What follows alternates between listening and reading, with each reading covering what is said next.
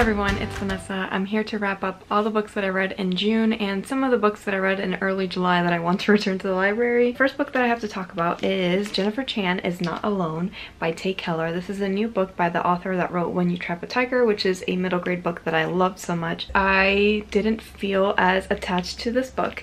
I ended up giving it just three stars because I really enjoyed the point of the book. I do think it's commendable, the inspiration for the story and where it came from, but this was really not what I I was wanting and anticipating, especially with the way that this book is described. It's described as this main character, Jennifer Chan, and her really big devotion into like aliens and thinking and believing that aliens exist. And she moves to this new town and she doesn't really care how other kids see her. And that's when you meet her neighbor who lives across from her, Mallory. And Mallory is really the central point of this book. We follow Mallory a lot as they're trying to find Jennifer Chan as she goes missing. It's really mostly a book about bullying. It's a book about power dynamics when it comes to being popular in middle school. It's a book about fitting in and molding yourself so that other people see you in a particular light. One trope that this book has that really bothers me in fiction is when you are kind of told something at the beginning of the story and it's kind of like the whole story is relying on this pivotal moment but you're not told what the moment is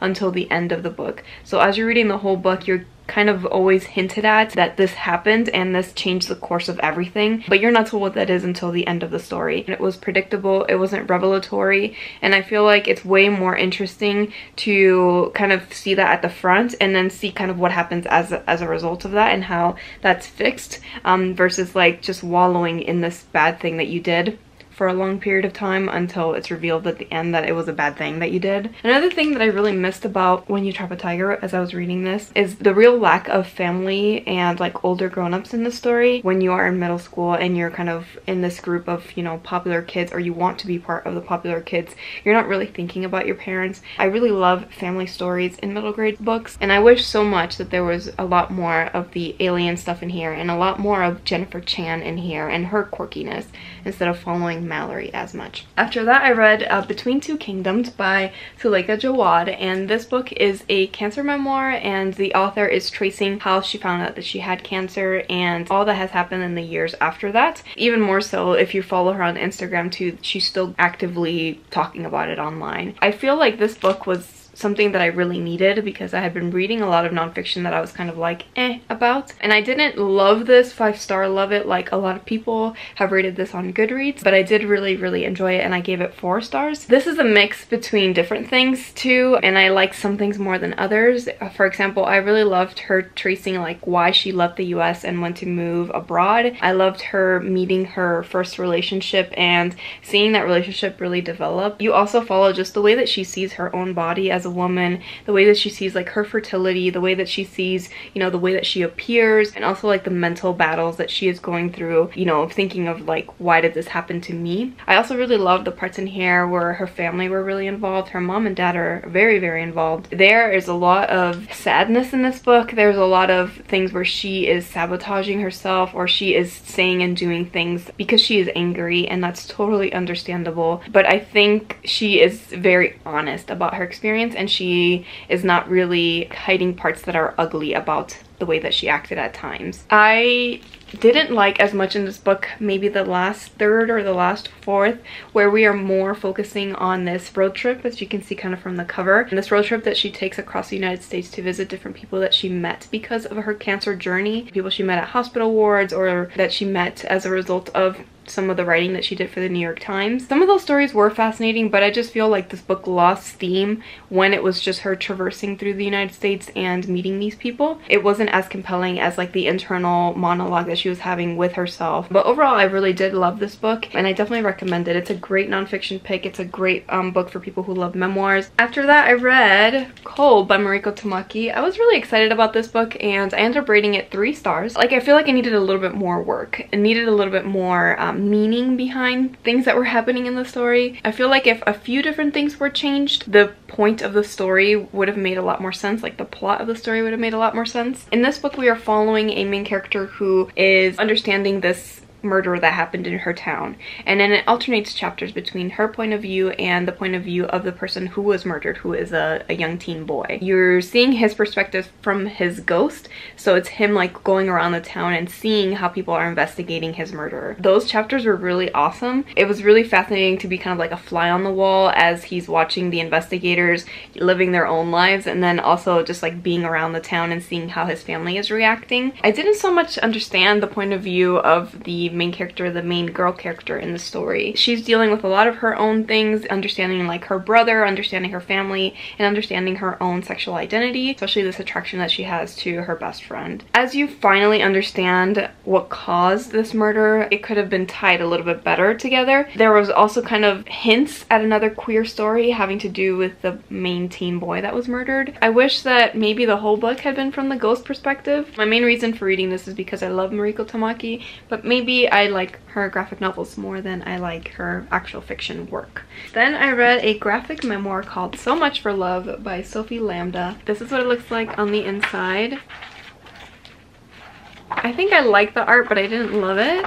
So this book is a look into the main author illustrator's life. Sophie Lambda is a French illustrator author who wrote this book about her experience with a very taxing psychological abusive relationship. It's not a relationship that was ever uh, violent in the sense of like physical violence, but it was definitely very psychologically, mentally taxing for her life. It's the ups and downs of this relationship and how the way that he talked to her and the way that he dealt with conflicts that they had in this relationship made her second guess herself. She uses a lot of humor to interject. I felt like it was a little bit off-putting and unnecessary. It didn't really fit the seriousness of the story. She does this by using like a teddy bear and the teddy bear comes up over and over again kind of like as a fourth wall interjection of her other thoughts that are happening in her head. It was a little crude and weird and I didn't feel like it fit the story very well. She also made a lot of asides about like the length of the story and how long it needed to be according to the publisher and some of like the humorous things I feel like didn't land with me. And then the last like third to last fourth of the book is all like an inside guide of how these types of people exist, what kinds of things that they do that psychologists uh, have researched, kind of like red flags to look for if you're finding yourself in a relationship where you're kind of questioning if this person is a toxic partner to have. It was like the story was over and then now we were going into this research into what toxic partners are like and it would have been much more productive to have that be part of the story where she was having a more internal monologue and narrating this kind of like research that she has done about toxic partners. That would have been a lot more successful if she was really using that while we were learning about her own personal journey and personal story with this man.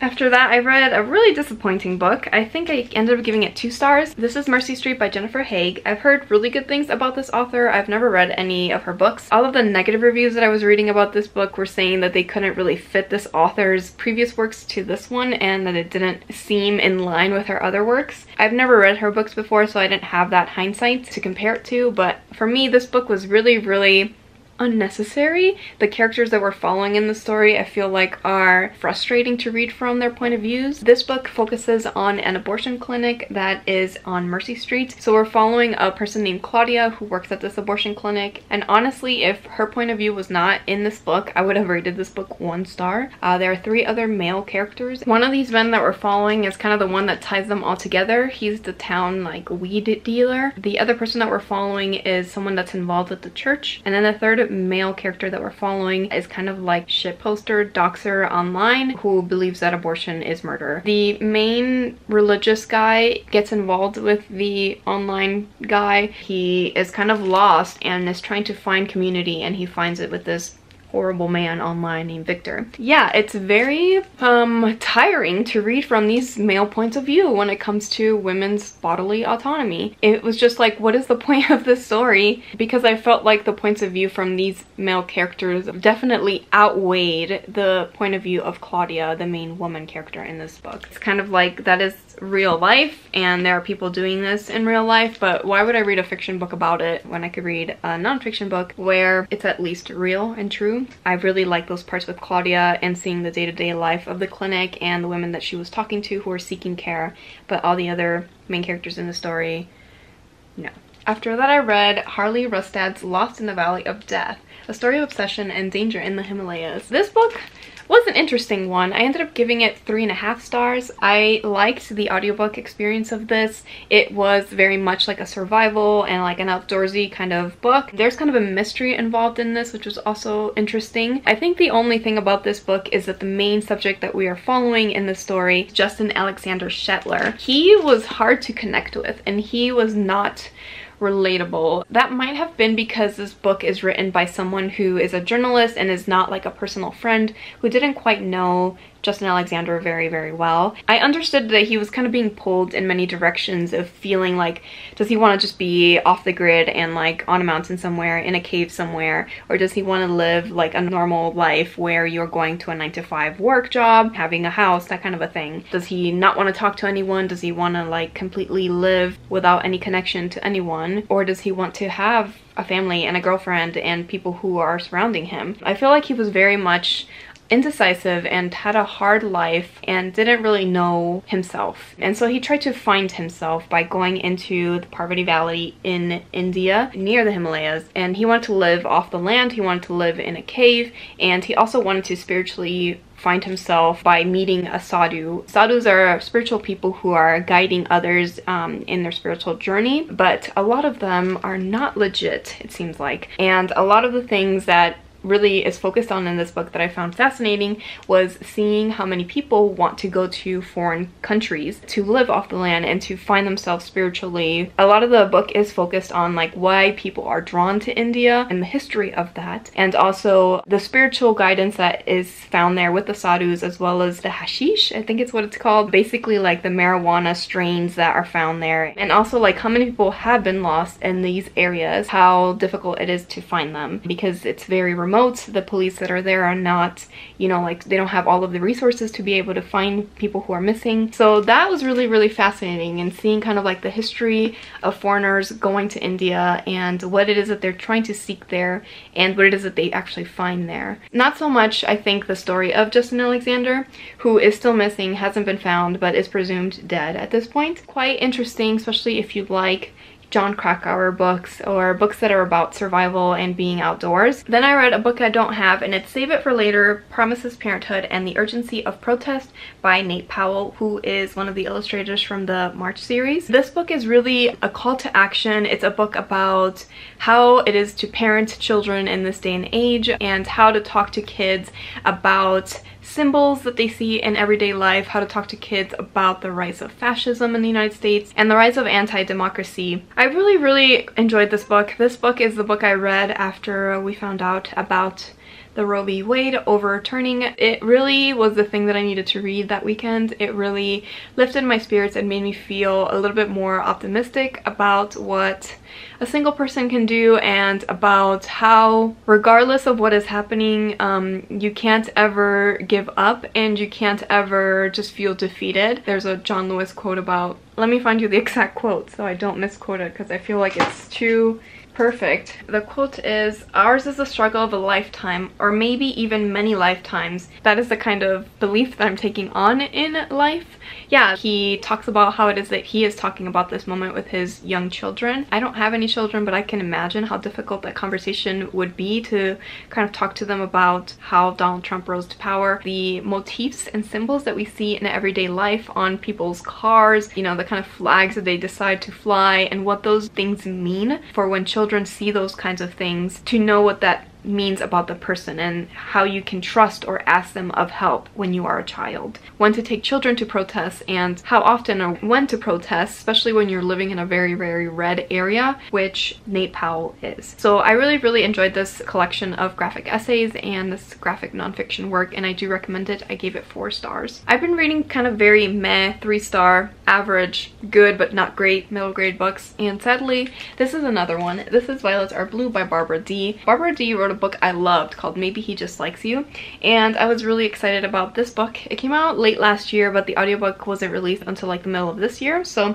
I didn't read it until now. This follows a main character whose family is divorcing and her dad is moving away and is has a new wife with new kids coming on the way and her mother is having a really hard time dealing with that separation. She stays living with her mother and she starts to be really interested in special effects makeup. She joins a theater production um, to work on the makeup for the people there. She watches a YouTuber who's really into it. It's her learning about herself through this new hobby that she has and also understanding like what's happening to the grown-ups in her life. I really like that the dad and stepmother in the story were not the bad. I feel like that would have been a really easy way to deal with this situation. This is one of those books books where like you know what's happening and there are a lot of things that are explained like subliminally that you know mean something but maybe as an upper middle grade reader you're reading this and those things are not like super super clear. This book did another thing that I also don't love particularly and that's when everything's kind of wrapped up in a neat little bow. I think it would have been way more fascinating if we had seen what this new situation, this new life would have been like after the fact instead of the way that it ended where it was kind of just like everything's gonna be fine. That is something that is uplifting about middle grade stories, but I feel like it would have been a lot more fascinating to just see the struggles through the whole book versus like knowing that it happened at the end and then everything being fine as the book closed. I gave it three stars. I sound like a broken record today. The next book that I read is Uncanny Valley, a memoir, and this was a very anticipated read for me. I ended up giving it three and a half stars because there were some things that I really, really liked about this book, especially like the first,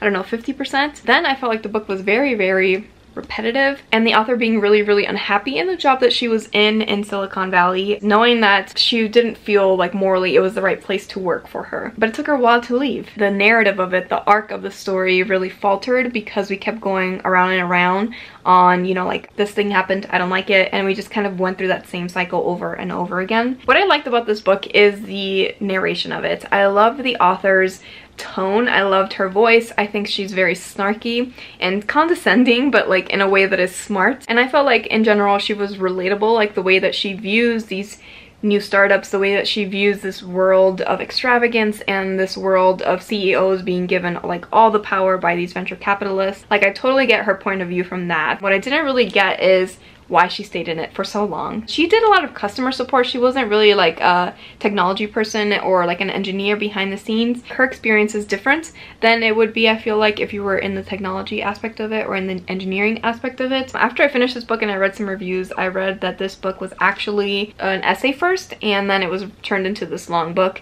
And yeah, at times it does feel like we're trying to meet a page count for a normal sized book and there wasn't as much story for it to go on so long. After that, I read chemistry. I really thought that it was gonna live up to like Weather by Jenny Offill because it's very sparse and it's also like random little passages that add to each other. I thought that this book was good. I gave it three stars. I really enjoyed the point of view of the main character. I understood where she was coming from. There are some passages in here that are very relatable when it comes to like how being an immigrant and having English be your second language or having parents who have English as a second language affects the way that you speak and the way that you process language language. There were other things in here about like expectations parents have of you, but I think that this book didn't really hit in the way that I wanted it to and I felt like some of the passages were not as memorable or were not as necessary to add to the full story. I did really like the ending of this so I did enjoy this book but I think you do really have to relate to certain aspects of the story to really enjoy it and I think that's why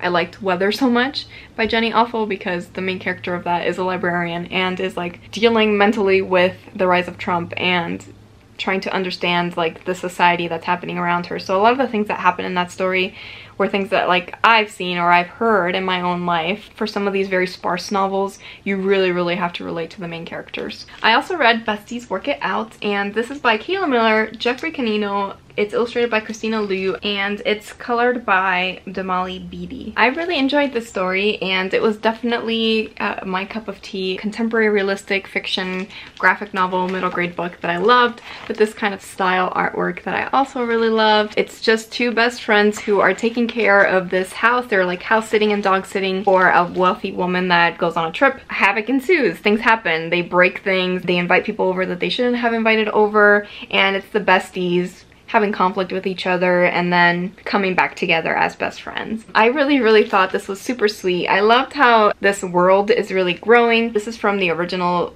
books by Kayla Miller, the Olive books, and these are two best friends that are part of that series, so now they have their own like spin-off series. It was just a very nice palate cleanser. I loved the conflict resolution, I loved the communication of it, I loved the art. I definitely related to Beth more than Chanda, but I did really enjoy the two friends together and how they came back together. Really sweet and a nice one that I gave four stars. Then I read another book that I really enjoyed that was super quick and short and a graphic novel and that's Lorna by Benji Nates. I did just read and review Benji Nate's Hellphone and that's what inspired me to pick up something else by him. I just love his humor. I think it's so weird and I definitely don't feel like it's for everyone. Very dark humor. It's very like nonsensical. It's very absurd. The main character Lorna is just not okay. She, you know, says she loves cats, she's incredibly awkward, and she won't hesitate to pull a knife on those who displease her. There's a lot of humor in here that's very focused on death, so if that's your cup of tea, your kind of humor, then I think you would enjoy this. But I definitely don't think this is for everyone, and I think you should take into consideration like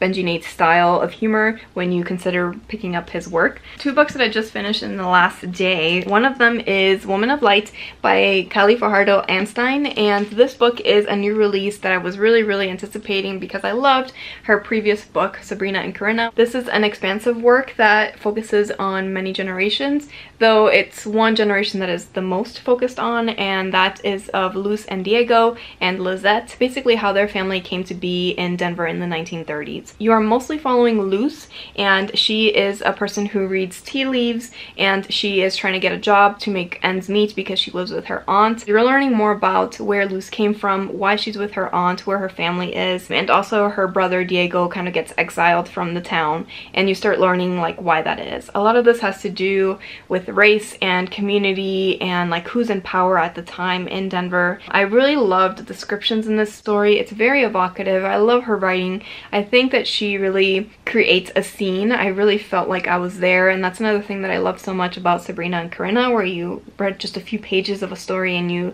felt like you completely knew what was happening. I also really loved kind of some of the ideas that were happening in the story. But I think what was troublesome in this book is how many of these threads felt very random and didn't really cohesively go together. It's a book where you're led somewhere in the plot, but then it kind of fizzles and you go somewhere else instead. And that really made this book falter for me. I really wanted to love it more than I did. I ended up giving it three stars. I will definitely pick up more by this author. And then last but not least, I just finished last night, I Cried to Dream Again, Trafficking, Murder, and Deliverance by Sara Kruzan and Cori Thomas. And this is a memoir of a woman who was trafficked into sex when she was 11. I mean, like, she had her first sexual experiences really, really early, forced by this man who became someone that was using her for other clients in California in the 90s when she was, you know, 13 to like 16. The first third of the book really focuses on that grooming aspect of it, where you see how this man was really creating this life for her that she couldn't